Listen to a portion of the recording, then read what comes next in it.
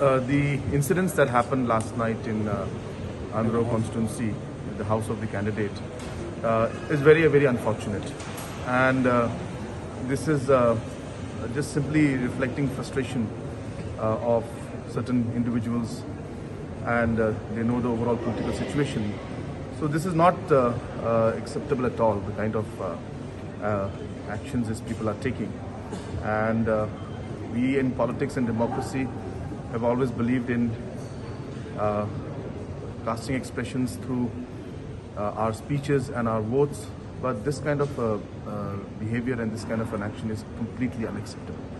We'll be meeting the uh, election uh, chief electoral officer today at uh, 3:30. I have already called him up uh, in the morning and expressed our deep concern on the kind of current situation that's prevailing uh, in this elections, which, uh, as far as I remember, I've been this is my fifth election in Manipur.